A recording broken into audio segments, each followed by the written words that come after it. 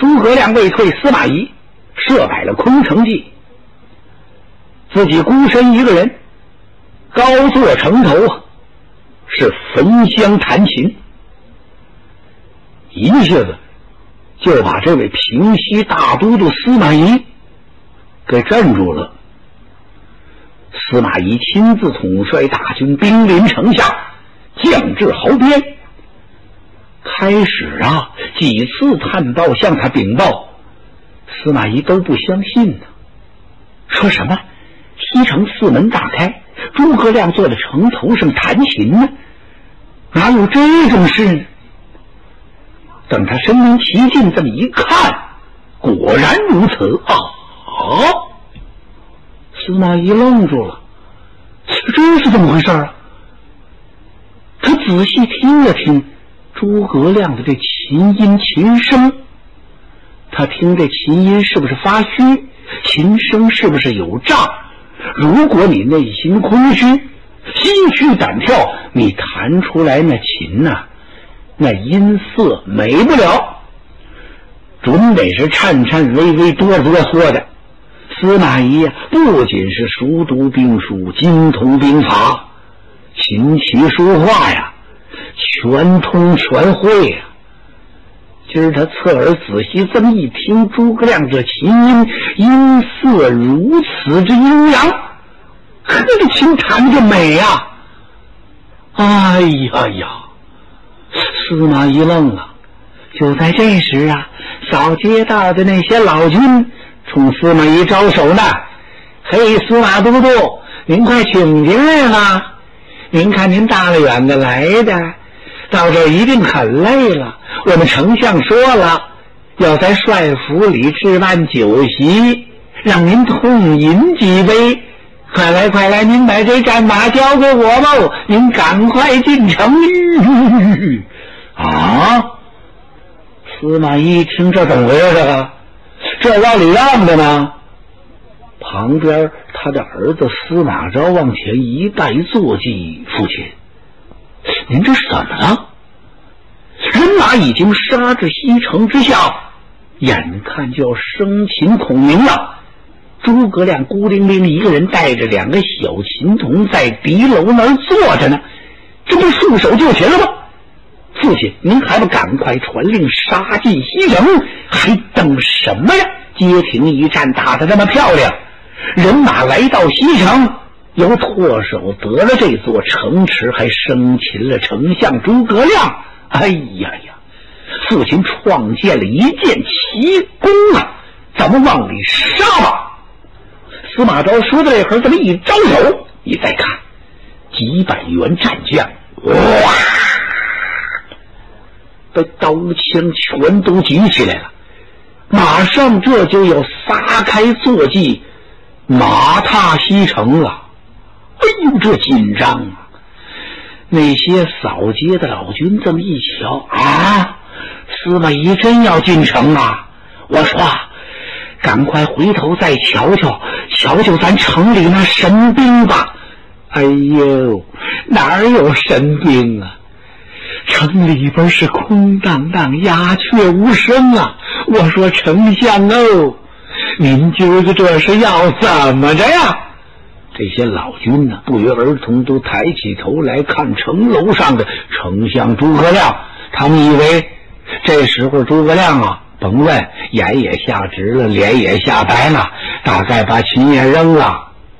老军们这么一看呢，嘿嘿，丞相坐在那是巍然不动，稳如泰山，面色不改，那琴弹的呀。真是如醉如痴，今儿个是诚心实意要会会司马懿这位知音。这时候，司马懿手摁鞍桥，大瞪着两眼，也往城里边撒嘛呢。他心想：这座西城是空城啊，还是实城啊？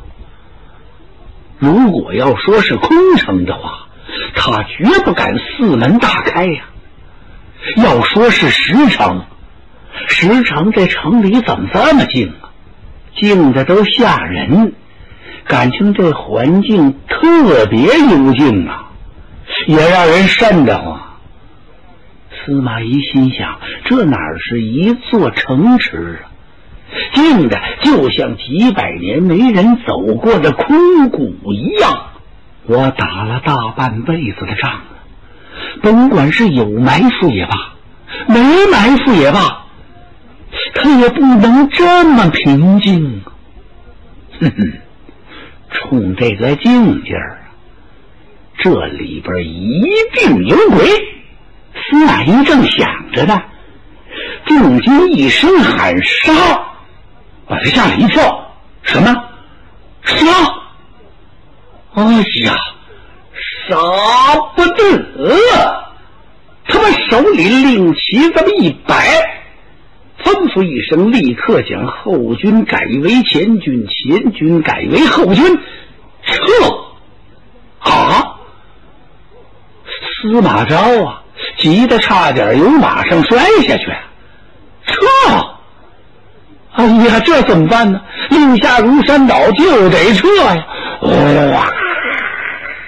哎呦，甭管是十五万兵还是三十万兵，你等往前一开的时候，雄赳赳气昂昂，感情往回这一撤呀，也够惨的。前面的全明白了怎么回事，后边的那后续队伍正在往上续着呢。走着走着，呃，什么什么，往后撤？怎么了？这是快撤！哦，这下就有点乱。司马昭啊，急得在凳中一个劲儿的跺脚。哎呀呀，这催马赶上来了，一把拉住他父亲司马懿的袍袖。父亲，我看这西城是一座空城啊！诸葛亮大概束手无策了。他故作沉着在那儿弹琴。父亲何不下令人马杀进西城，生擒诸葛亮？你怎么会往下撤呀？哎，司马懿是连连摆手：“儿啊，你哪里晓得哟？诸葛亮他这一生非常谨慎，是从不弄险呐。危险的事儿他一点都不干。你不看看呢？那哪是空城？其中必定有诈。”这座城池内肯定有埋伏，如果我等杀进城中，嘿嘿，正中诸葛亮的诡计呀！哎呀，父亲，孩儿我已经两次来到西城了，第一次我亲自来打探的，它就是一座空城。随后我随您又到这儿来了，我看得清清楚楚，城里头除去城门口那些个扫街的人。再没有什么兵马了，咱应该杀进去。呃，你哪里晓得诸葛亮的神机妙算？啊，这座西城，空城也罢，实城也罢，为父已经打定了主意。无论如何，我也不进去呀！赶快兵走武功山抄小路。回奔街亭，司马懿这兵就败下去了。等司马懿大兵撤了，城门口扫街的那些老军呐，长长出了一口气。哎呦我的妈呀！司马懿可走了，简直的吓死活人哦！这是多悬呐！城楼上的诸葛亮也轻轻的舒了一口气呀。诸葛亮也很紧张，当然紧张，吩咐秦童来呀，将秦收了起来，下得程序，速回帅府。诸葛丞相回来了，来到帅府门前一看，嚯，嗯。自己安排的不错，这些大臣们真听话呀。府门紧闭，根本没敢出来。什么叫街头走动？交头接耳，谁敢呢？不过现在里边有人已经知道了，说司马懿兵退了，咱们得出去看看去。有这么几位炸着胆子过来，把那大门吱扭扭扭扭拉开了。刚往外这么一探头，哎呦嚯，丞相回来了！快快快，把门开开！贺像众星捧月一样啊，把诸葛亮给簇拥进了帅府。诸葛亮秉正归坐，有的人赶快过来献茶，也有给打手巾的。干嘛呀？请丞相擦擦脸吧。丞相也受了惊啊，把我们呀也都吓得转了向了。到现在呀，刚有点明白过味儿来，太悬了。丞相，司马懿亲统大兵十五万，杀至咱西城的城边，他怎么没往城里杀呢？怎么您就用这琴弹上一曲，司马懿？就把人马撤了，这些人都糊涂了。诸葛亮听这一问，是哈哈大笑啊！列公有所不知啊，司马懿知我平生谨慎，从不怒险，所以我才摆下这座空城计，击退了司马懿呀。别的是什么办法也不好使了。列公不是提醒过我吗？咱们赶快跑吧！大家想一想，咱们来了五千多人，是一半人搬运粮草，身边仅剩下两千多军校。这要跑的话，人家司马懿大兵追上来，立刻咱们就得束手遭擒呐。咱们要打吧，现在所有的武将全都派出去了，怎么跟人家打呀？要守这个城，根本守不住。弹丸之地的西城，想聚司马十五万大兵，那根本不可能啊！所以说是战不能战，退不能退，守不能守，迫不得已，才用了空城一计。立功，一般的空城计，也不能吓走了司马懿呀。就说你稍微有这么一点大意之处，就能被司马懿给看破。我才传令，让灭火西吹，连饭都不做，就是说连一缕炊烟，司马懿都看不着。卷旗息鼓，那是当然了。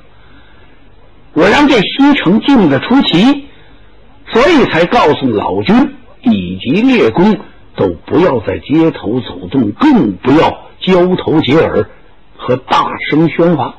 这是为什么呢？就怕让司马懿看出蛛丝马迹，一点点的破绽。只要让他发现一点破绽，这空城计就白摆了。司马仲达非等闲之辈，一般的计策你也骗不了他。只有在这特定的情景之下。我也是被逼无奈，才使用了空城之计。哎呦！众官这么一听，交口称赞：“丞相神机是神鬼莫测呀！”全都兵服了。诸葛亮摆手笑了笑：“哎呀，列公不必如此夸奖。今天如果说……”司马懿要是换了我，我是绝不退兵，我非杀进城来不可。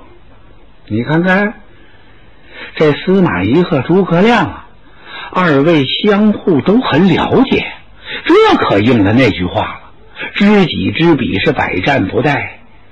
这两位军事家都互相知心呐，怎么见得呢？您看。司马懿就曾经说过这样的话呀，他刚一复职当上平西大都督，他亲口说的。他说：“要我是诸葛亮，我一定兵进子午谷，那早就占据长安了。”现在诸葛亮为什么人马没走子午谷呢？因为这个人呐，他太小心了，他并不是没有智谋，他太谨慎了，所以诸葛亮一生不怒险。这是司马懿对诸葛亮的印象啊。还非常深刻呢。他知道诸葛丞相从不闹玄。听诸葛亮又说了，在西城前，要是我领十五万大军来，我跟司马懿换个个，我非杀进城来不可。为什么司马懿没往城里杀呢？就说明啊，司马仲达用兵啊，他比我还谨慎，还小心。这就叫知己知彼呀。今天诸葛亮在西城这儿这一计，仅就这一点说，他的这个棋呀就高过司马懿一招。之所以空城计能够成功，虽然诸葛亮在那样历史条件下那种特殊的情景，没办法了，逼出这么个空城计来，但是呢，还取了上风了。这个原因就在于孔明啊。要不是平日那种小心谨慎，他也不能在西城这会弄险，冒了这么大这个风险。这胆子可是够大的，城里两千来人要对付人家司马懿十五万大兵，要没有平素的谨慎，诸葛亮也就没有今天这一时的大胆。司马懿之所以没进城呢，他也想。诸葛亮一生谨慎小心呢，他绝不敢以空城对我十五万大兵。诸葛亮的胆量再大，也做不出这种事儿来。所以司马懿才说，对他的儿子司马昭说：“甭管是空城还是实城，说死啊，我也不进西城啊。这西城一战呢，是三国时期两位军事家。”一次智慧的角逐啊，诸葛亮今天都把他说破了。众文官呢，个个是点头称赞。诸葛亮传令，让西城所有的军校和黎民百姓赶快收拾收拾，马上撤离西城，回汉中啊！司马懿，你别看现在撤了，他还得回来。司马懿撤退呀，他一定兵走武功山，想回街亭。我在那儿安排下关兴、张苞两员小将，为了惊扰曹魏之军，也得把司马懿给吓一大跳。腾出这功夫，咱们就撤下去了，粮草也都搬走了，这算心里头踏实一点了。这时啊，由南安安定天水撤下来的军民也到了，西城的军民也撤了。果不出丞相诸葛亮所料。司马懿果然兵走武功山，他要把人马撤回街亭啊！这一路上啊，爷仨司马懿、司马师、司马昭啊，谁都没说话，各自想各自心事。司马懿呀，只有一个想法：哼，你就是把天说的滴溜溜，给我转仨圈儿，我也不能上诸葛亮的当，中诸葛亮的计呀！这算很万幸啊！我没杀进西城去，不管怎么说，我把人马保住了。先回街亭啊，歇口气儿再说吧。他的人马刚到武功山这儿，突然刀嗷一声炮响，金鼓大作，喊杀震天！只见西蜀一员大将，黑盔黑甲，造罗袍，胯下乌骓马，手里头提着丈八蛇矛，大吼一声。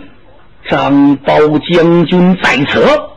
再一看，漫山遍野都是西蜀军校。哈哈！司马懿看了看司马昭，怎么样？啊，孩儿，你看见了吧？诸葛亮果然有埋伏。司马昭心说：这埋伏都设在哪儿来了？他这儿有埋伏，西城是空的呀！不要啰嗦了，赶快逃吧！也不想跟张苞打了，曹魏军呐，呵，弃甲抛枪啊，甲也脱了，刀也扔了，让张苞杀的大败。张苞也没敢追，为什么呢？因为丞相交令的时候说的明白，你们呢作为疑军，能把曹魏军吓跑喽，你们就算取胜了。因为他就带着三千来人追个什么劲儿啊？光在这儿摇旗呐喊就行了。司马懿败不多远呢，又听炮响，关兴杀出来了！哎呀呀！司马懿倒吸一口冷气呀！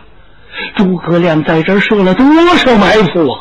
嗨嗨，我不管他设多少埋伏，现在司马懿呀无心恋战了，他恨不得一路就退回街亭。关兴、张苞两员小将呢，也不拼命追杀，因为丞相传令的时候说的很清楚：你们呀作为疑兵，只要能把曹魏军吓退，你们这一战就算成功了。所以这两员小将带领着军马就围着这山头这嚷嚷。这几千人要是一块喊，连敲鼓带放炮，那也够瘆人的呀。司马懿不想跟这儿多停留了，他呀加紧赶路，带着人马退回街亭去。关兴、张苞一瞧，行啊，咱们总算是把大队人马给掩护退了。现在司马懿已经走了，咱呐赶快追丞相去吧。关兴、张苞集合军校，随后追赶诸葛亮丞相。他们刚退下去不远，呵，曹魏军又杀上来了。这支人马是哪来的呀？这就是那曹真的人马。他听这郭淮说了，说司马懿呀，告诉您了。只要是诸葛亮退兵回汉中，让您就带领人马从后边掩杀。郭淮怎么去到街亭，如何没取下那列柳城来，曹真都知道了。既然司马懿有令，现在诸葛亮兵退了，那我就追吧。他派陈造为先锋，由后边是加紧追赶。这曹真不知道。你别看丞相诸葛亮走了，关兴、张苞退下去了，人家在路途上还设着埋伏呢。诸葛亮安排的那是真周密。还有一拨人马呢，谁呀？姜维和马岱。因为诸葛亮这撤兵，他不是一路啊，可以说是纷纷后撤呀，就是从多路一块撤回汉中。姜维和马岱呢，是负责保护中军的，也就是说是保护诸葛亮的。丞相这一撤，这二位也该活动着了。刚要起兵，曹真追上来，马岱一看，咱得抵挡一阵。姜维、马岱就挡住了曹真的这先锋官陈造，只一个回合，马岱就把这陈造给斩了。这下可把曹真吓坏了。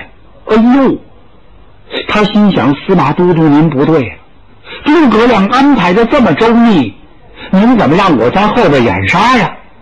这不叫我白送死吗？把曹真吓得带领着人马，二话没说退回梅城，四门紧闭，他再也不出来了。姜维、马岱二将杀退了曹真，赶快带领着人马追赶诸葛丞相。诸葛亮安排的可谓周到。这马岱、姜维不算是总断后，总断后还有一哨人马呢。由谁来率领的呀？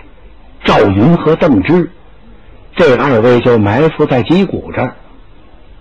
等到西蜀军撤的全都差不多了，这时候赵云将军才接到丞相一令，说：“子龙，你可以撤了。”赵云接令之后，跟邓芝商量：“咱们撤兵啊，不能突然就这么撤走，防备曹魏军从后边追杀。”邓芝一听：“子龙将军，您有什么妙计，您就安排吧。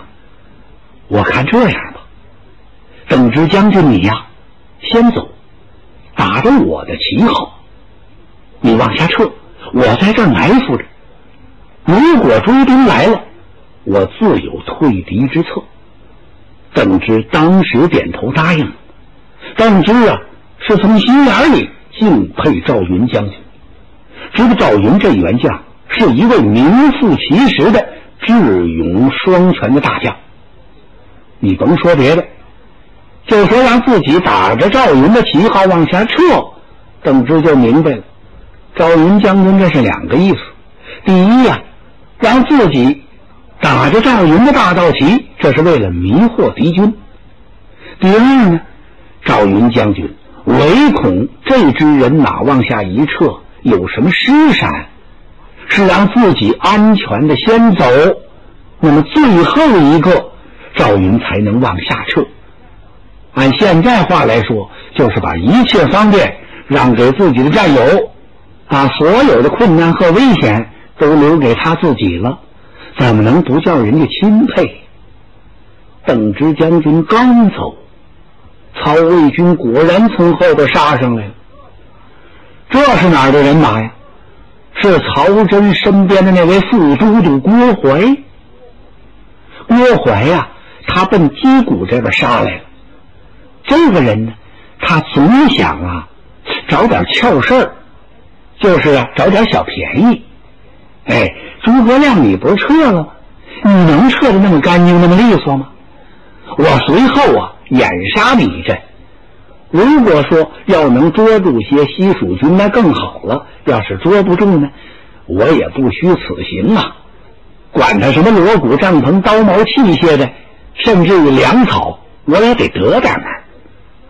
郭淮是这么想的，所以他从击鼓杀过来。杀到这儿的时候，他派他先锋官苏英，你在前面杀，我在后边接应你。苏英接令刚要走，哎，等等，苏英将军，副都督，您还有什么吩咐？我可得提醒你一句呀。有话请讲吧。西蜀军中有员大将，你知道不知道？苏英一听，那我能不知道吗？西蜀军大将不少，那最厉害的就得说是赵云、赵子龙。哎，你可千万提防他！嗨，苏英笑，他心想：赵云这时候肯定跟着诸葛亮已经回了汉中了。那样的大将啊，他一时一刻也离不了啊，哪能在这儿？我得呀，吹两句大的让他听听。您放心吧。我要见着赵云，准把他生擒活拿，回来交令。说完了，苏庸带领着五千精兵就追下来。正追着呢，前面有人来报，说启禀先锋官，前面有一哨西蜀人马，可曾看清旗号？看清了，什么人的军马？赵云。好，苏庸这头啊，嗡的一下。当时眼前就黑了，赵云在这儿呢！我的个老苍天，我怎么碰上他了？带过来看，他催马跑到军前，举目这么一看，果然远处有一杆大道旗随风飘摆，当中一个斗大的赵字，是赵云。别过去了，吓得这位苏先锋啊站那儿了。其实啊，那不是赵云，是邓芝，打的是赵云的大道旗。哎呀，苏英想了想，我追不追呀？追上他我就得死。我不追，不追，我领着好几千人站在这儿看着人家西蜀赵云往下撤，这也太惨点儿。嗯，他眼珠一转，来了主意了，干脆。我由西边那山头那绕过去，我走个岔道，也就是说给您赵云将军闪闪路，咱们两段子。对，哎，由这先追赶。手下军校没明白，怎么放着这大刀不追，怎么转着弯追？哪有画圈追敌军的？嗨，兵听将令，草听风，追就追吧。他们就奔这边绕下来，刚拐过山环来。对面刀啷啷一声炮响，有一员大将立马横枪挡住了苏英的去路，把苏英吓了一哆嗦。啊！你是什么人？敢阻挡我的去路？这员将一听，啪，右手提枪，左手一挥，喊一些的银然，哈哈一笑，哈哈哈哈！我乃虎威将军。赵子龙。